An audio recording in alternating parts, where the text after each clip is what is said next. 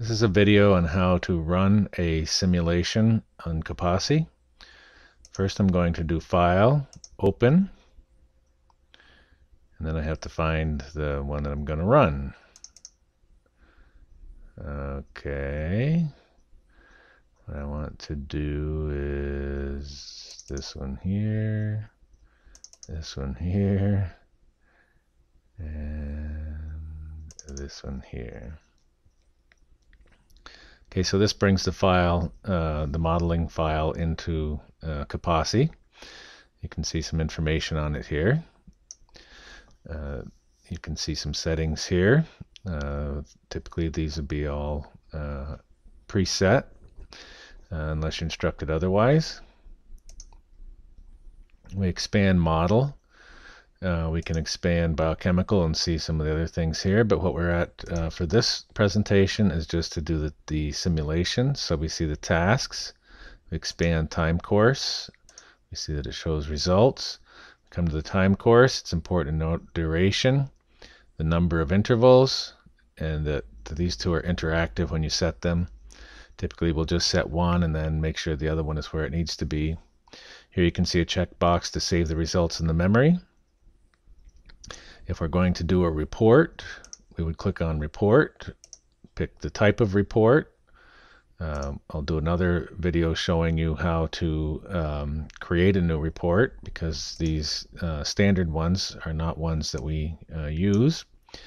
You would, uh, it goes by default to the folder in which the COPASI file uh, resides, uh, which is a convenient thing that we'll run into at other times. Um, I like to um, use a very standard naming practice. Um, I'm going to do on this one is just give it today's date. I like to do that as well. 17th, 2013. I might put the time, depends on how much information there is. Um, we're out of the window a bit here. I'll pull this in. then you click Save.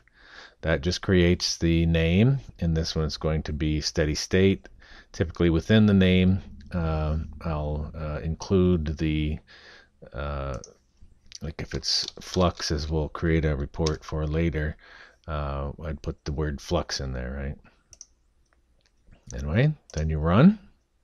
You can see over on the left here, there are graphs that are running. There are several of those.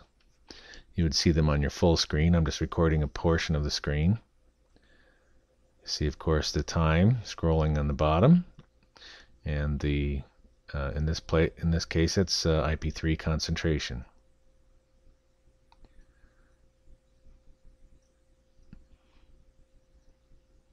And typically, we have a concentration report and a flux report. Uh, this one I had selected. What did I select?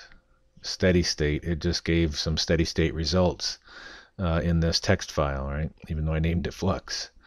Um, if I go to that folder,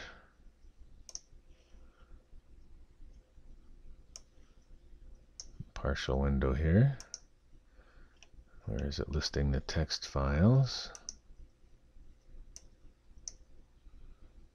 Down here at the bottom, I'm not going to open it in Word. I'm just going to click it open here real quick. This is the information that uh, uh, went into that text file. Uh, we can open it uh, with Excel. Just do a file open with Excel and it will uh, import it as a text file. Okay, so uh, that's how you run a simulation and dump the results into a report. If you click on results here, you can see all the results for just the, uh, the levels, the sizes of our compartments there. You can see it changes over the time. And then if you wanted, you can click Save to a file here, uh, and I'm just going to put a 2 on the end of this one. This would be our levels. I don't like to do it this way. I like to run it the other way because it's more organized.